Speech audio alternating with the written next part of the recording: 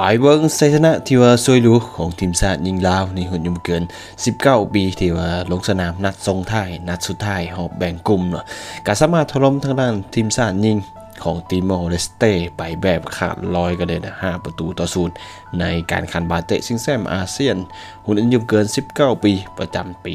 2023ที่ว่าจัดขึ้นอยู่ที่ประเทศอินโดนีเซียนะอย่างไรก็ตามถึงว่าทีมชาติเราจะบ่ได้ไปต่อ แต่ก็เห็นถึงการพัฒนาเนาะเนื่องจากว่าเข้าร่วมการแข่งขันรายการนี้เป็นข้างทำอิฐของทีมชาติลาวยิงเนาะที่ว่าในหุ่นยมเกิน 19 ปี ซึ่งว่าทีมสุดนี้ก็มีนักเตะใหม่ส่วนหลายเลยก็ว่าได้นะผสมกับนักเตะเก่าที่เคยมีประสบการณ์มาก่อน ก็ถือว่าเป็นการพัฒนา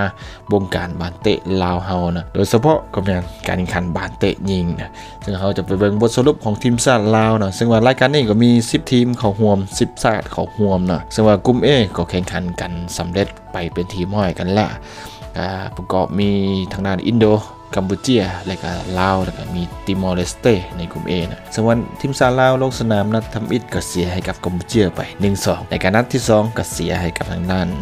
อินโดนีเซียไป 1 ประตูต่อ 4 นะก่อนที่มานัดสุดท้ายจะแข่งขันในเมื่อวานนี้ ก็คือในวันที่9กรกฎาคม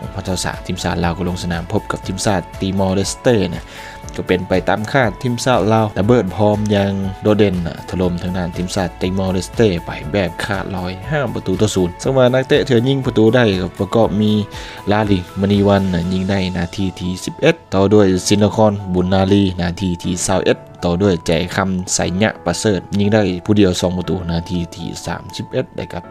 89 ส่วนอีกหนึ่งประตูก็ได้จากแกมมี่อุดมสุขนะยิงได้นาทีที่ 66 นั่นเอง ซึ่งว่าจากผลการขันลังกาวเกทิมซาลาวลงสนามไป 3 นัดมี 3 คะแนน ชนะ 1 เสีย 2 นัด ตกหอบไปเนาะส่วนว่าทีมชาติอินโดนีเซียมัน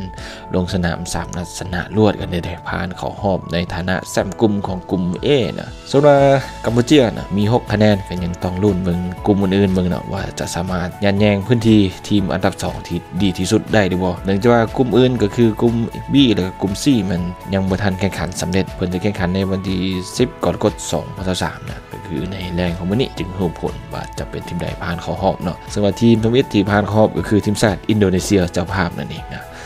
จากนี้ก็เป็นบทสรุปของทีมชาติยิงลาว ถือว่าเป็นประสบการณ์ให้กับวงการบานเตะยิงลาวนี่แหละที่ว่าบุคคลมีการเคลื่อนไหวพิเศษในปีนี้ก็จะมีการแข่งขันบานเตะลีกผู้ยิงเนี่ยจะเชื่อมันว่าปีหน้าทีมชาติยิงลาวจะผลงานโดดเด่นกว่านี้แน่นอนก็ถ้าติดตามผลงานกันกัน